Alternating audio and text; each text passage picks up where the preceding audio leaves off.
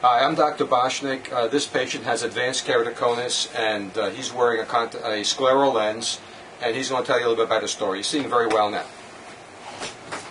Hi, my name is David Mazo. I've been coming to Dr. Boshnick for about four years now. Uh, at the beginning, I was diagnosed with uh, uh, keratoconus. I didn't know what it was. Uh, previous to that, I used to wear glasses, but nothing seemed to work. I was always having blurry vision. Uh, after he fitted me with scleral lenses, I'm pretty much in 2020.